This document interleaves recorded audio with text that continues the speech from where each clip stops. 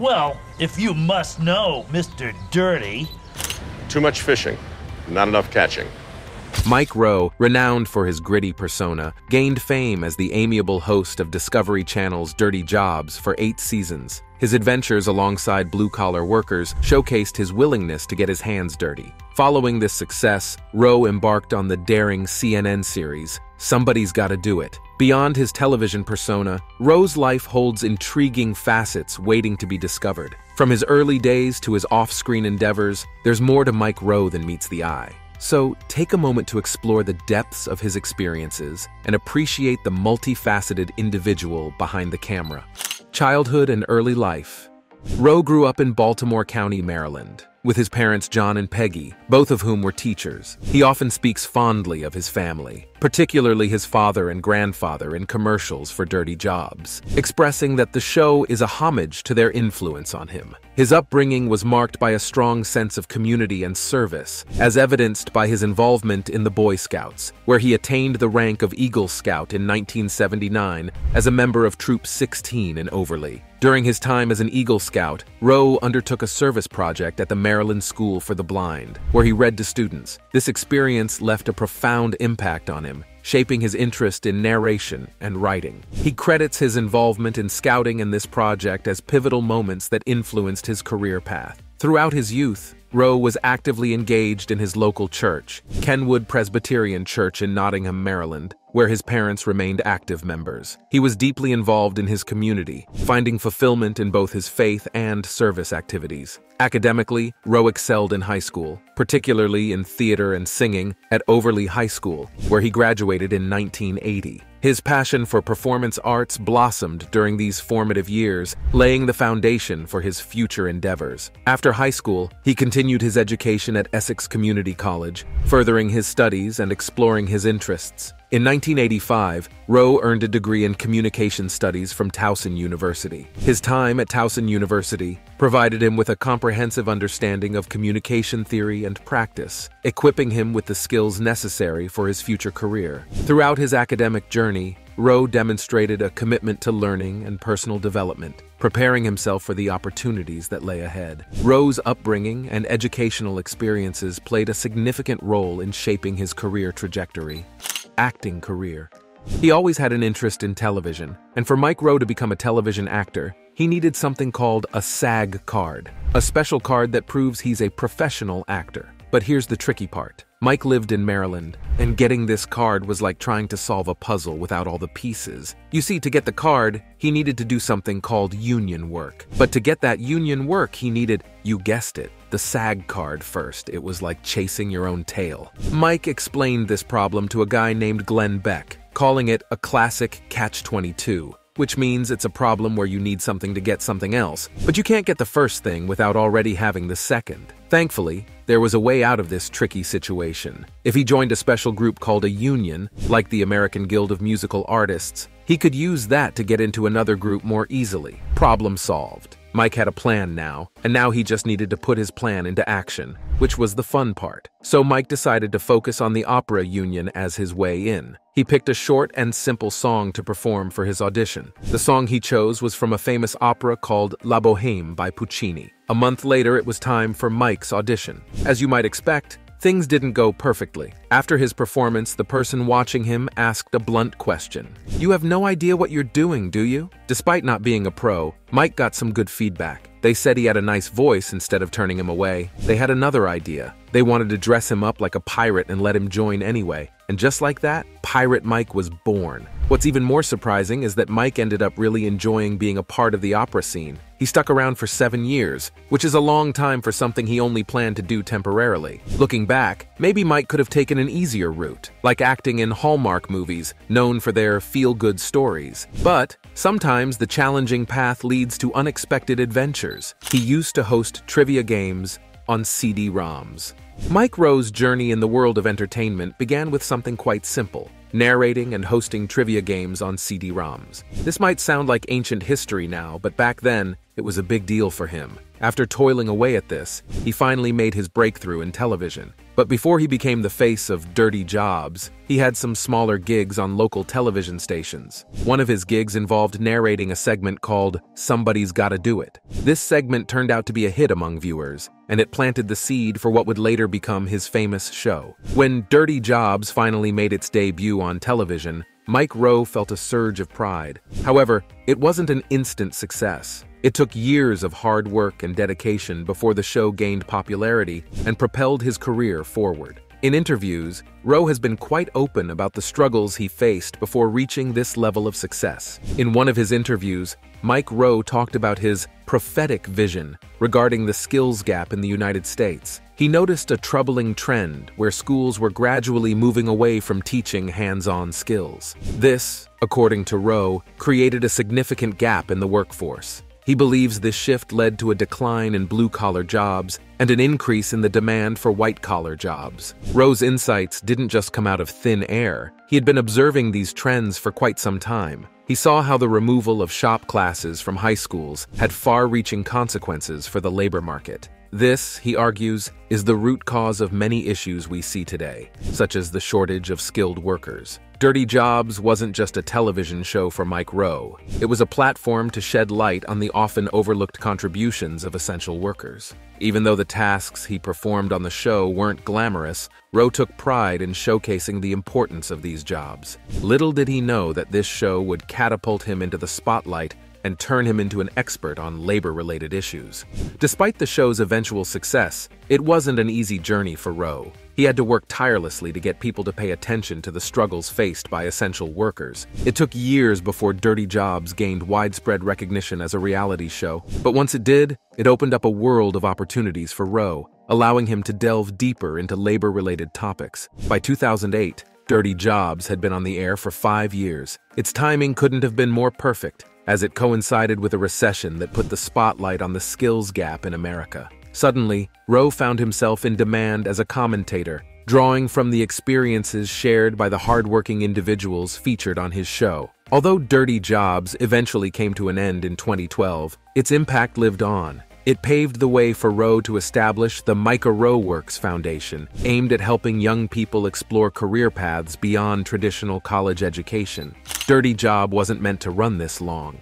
21 years ago, Dirty Jobs began, and it lasted for 169 episodes. It traveled to all 50 states of the United States. It's pretty surprising to learn that this show, which made Mike Rowe famous, wasn't meant to be a big thing at first. In fact, it started with just three one-hour specials. Mike Rowe became well known because of it, but it wasn't easy at the start. Rowe first got noticed by the Discovery Channel with a tape showing one of his more daring segments from his old job on Evening Magazine in San Francisco. This segment was about artificial cow insemination, showing Rowe's willingness to do tough jobs. People loved those first specials. Lots of viewers watched them and liked them. This got Rowe thinking, maybe he could make more episodes like these. He asked Discovery Channel if they were interested, and they said yes. And just like that, Dirty Jobs began. This marked the start of an exciting adventure into lesser-known jobs across America. Mike Rowe says on his website that the journey that followed was amazing, even though it was sometimes dirty. In each episode, Rowe and his team explored different jobs that many people don't know much about. They looked at jobs like cleaning sewers or taking care of exotic animals. These jobs are important, but not everyone knows about them. What made Dirty Jobs special was how real it was. Rowe didn't hide how hard or messy the jobs were. Instead, he embraced it and got fully involved in each job. Whether he was shoveling manure on a farm or cleaning out a dirty tank, Rowe brought humor and respect to every task. This made people all over the world admire him. Dirty Jobs wasn't just a popular show, it became a big part of the entertainment culture. People liked watching the unique jobs on the show, but they also liked Rowe's down-to-earth personality. He wasn't just a host, he was like a friend, showing viewers what it's like to work in tough jobs with humor and charm. As the series went on, Rowe became more than just a television guy. He became a champion for workers. Through his work on Dirty Jobs, he talked about the importance of learning trades and respecting all kinds of work. People listened to him and started talking about how important it is to appreciate all kinds of jobs. In a world where we often only see the glamorous side of things, Rowe reminded us that simple jobs are important too. Whether it was the satisfaction of finishing a job well or the friendship among coworkers, Dirty Jobs showed the beauty in everyday moments. Letter for New Eagle Scouts. After Mike Rowe achieved the esteemed honor of Eagle Scout, he received a letter from President Gerald Ford congratulating him. This letter, written on fancy paper with the presidential stamp, featured Ford's name and a photocopied signature, giving it a formal touch. However, Rowe felt that despite its appearance, it lacked sincerity, as it seemed like a generic form letter. Later in life, as the host of his own show, Rowe decided to create his own form letter for new Eagle Scouts. He offered to send it to any Eagle Scout who requested one, signing and personalizing it, provided they sent him a self-addressed, stamped envelope. Rowe's approach differed from Ford's in several ways. Firstly, he openly acknowledged that his letter was a form letter, a transparency rarely seen, especially from presidents. Additionally, Rowe's letter featured five blanks where he would handwrite the recipient's name, adding a personal touch to each correspondence. By creating his own form letter, Rowe aimed to offer new Eagle Scouts a more genuine and personalized congratulatory message than what he had received from President Ford. Furthermore, Rowe's approach highlights the importance of authenticity in communication. While form letters serve a practical purpose in reaching a wide audience, they often lack the personal touch that can make a message truly impactful. A prominent narrator, even if you've never seen the show Dirty Jobs, you've probably heard the voice of Mike Rowe somewhere. He's been a prominent narrator since 1984, using his smooth voice for TV programs, ads, and even audio versions of religious texts. Rowe once addressed whether he disagrees with the content he narrates, likening it to a plumber fixing a clogged toilet. He simply does the job without questioning or forming opinions. In his early days, Rowe narrated the infamously bad Wonder Boner commercial, where a fisherman teases viewers with, just wait until you see what I've got. But as Rowe gained fame, he became more selective with his projects, avoiding similar cheesy ads. His rise to fame also led him to increase his fees for narration work, though he humorously admits that he's still open to being bought, just not as often as before. Being famous raised questions about his credibility, prompting him to be more careful about associating his voice with certain products. Rowe's analogy of narrating to plumbing highlights his approach to his work. He sees it as a job to be completed to the best of his ability, without getting bogged down in personal opinions or moral judgments. $35 million fortune Mike Rowe is a wealthy man with an estimated fortune of $35 million. Despite his riches, he chooses to live in a modest apartment in San Francisco, where he has resided for 14 years. Rowe's decision to remain in his apartment was recently disclosed when a fan on Facebook asked him if he lived in a mansion. Rowe was quick to admit that he does not, noting that he once house sat in one but preferred his current living situation. He finds contentment in his apartment, particularly enjoying the view of Treasure Island and Alcatraz. Despite having enough money to afford multiple mansions, Rowe finds comfort and satisfaction in his modest dwelling. He values the simplicity and familiarity of his apartment lifestyle over the extravagance of a mansion. Living in a mansion may seem appealing to many, but for Rowe it holds little allure. He appreciates the comfort and coziness of his apartment, where he has made a home for himself over the years. Some may question Rowe's decision to forego the luxury of a mansion in favor of his modest apartment. However, he remains steadfast in his choice, finding fulfillment and happiness in his current living arrangement. In a world where wealth and status often dictate one's choices, Rowe's decision to prioritize comfort and familiarity over extravagance is refreshing. He serves as a reminder that true happiness lies in being true to oneself and finding joy in the simple things in life. Sesame Street Mike Rowe knows exactly how to find Sesame Street. He visited the iconic children's show back in 2010 for a segment of Dirty Jobs with Mike Rowe. He had a late night out in Manhattan the night before, but he made it to the set on time. During his appearance, he met Oscar the Grouch, who, according to Rowe, is a rather messy character. Rowe, being no stranger to dirt himself, made for an entertaining and somewhat grimy television segment. Rowe's encounter with Oscar wasn't just memorable for the messiness. He was even invited into Oscar's trash can through a less conventional entrance. Despite being on a children's show, Rowe couldn't resist cracking a sarcastic joke, which might have been a bit too crude for the usual public broadcasting service audience. Yes, it was a joke about a back door, and surprisingly, it managed to slip past the public broadcasting service censors. But for the adults watching with their kids, it might have been a welcome change from the usual innocent content. While reflecting on the incident later, Rowe admitted that the joke was rather immature,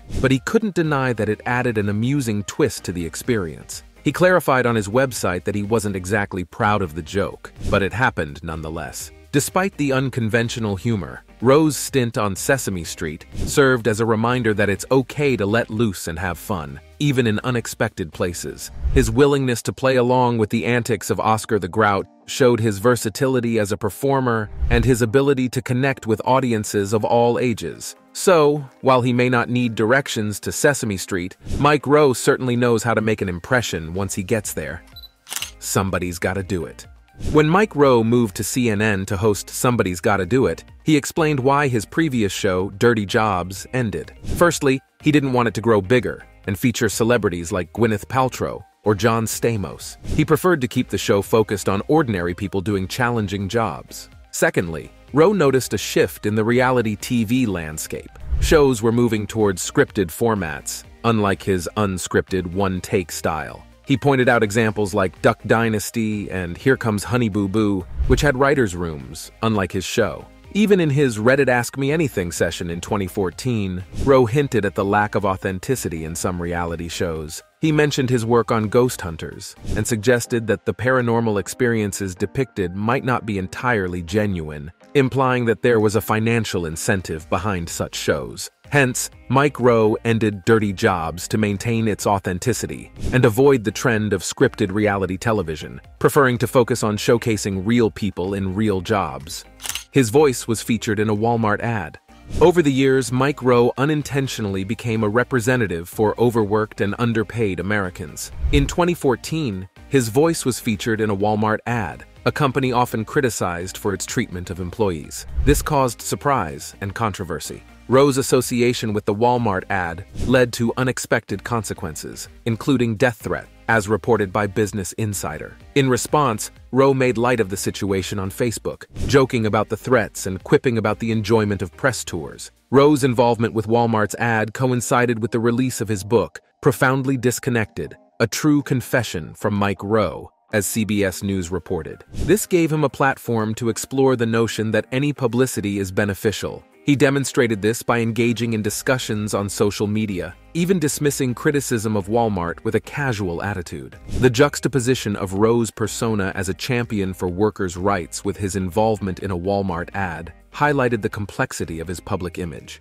The controversy surrounding the ad showcased the tensions between his personal brand and the companies he associates with. Despite the negative attention, Rowe seemed undeterred using the controversy to generate interest in his book and engage with his audience. His nonchalant response to criticism further emphasized his willingness to navigate controversy for the sake of publicity. The backlash against Rowe's involvement in the Walmart ad revealed broader societal concerns about the treatment of workers by large corporations. It served as a reminder of the power dynamics at play in the relationship between celebrities, corporations, and the general public. Workout in prisons.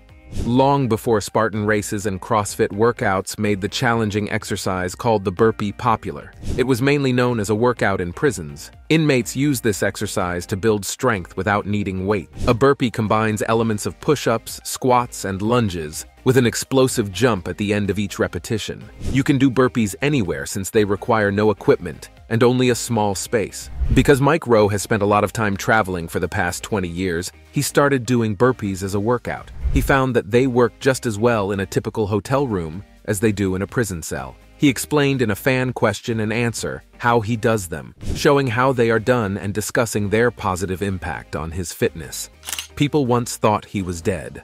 One day, Mike Rowe woke up to a bizarre situation. People online thought he was dead. This strange incident started with a noisy drone outside his window. Mike, still in his birthday suit meaning he was completely was abruptly awakened by the drone's buzzing. Confused and annoyed, he grabbed his shotgun and stormed outside to confront the intrusive device. As he aimed his shotgun at the drone, he realized the consequences of his actions. He imagined the headlines that would follow if he shot it down. Dirty Jobs guy totally loses it, gets naked and shoots drone from San Francisco skies. The thought of his mom seeing such a spectacle terrified him. So instead of pulling the trigger, he opted to capture the moment with his cell phone camera. The incident, which led to a death hoax, was triggered by the noise of Rowe loading his shotgun. The noise leads to a misunderstanding. Mike, still in disbelief at the absurdity of the situation, couldn't help but find the humor in it. Despite the chaos, his reaction to the drone was simply to take a picture as it flew away.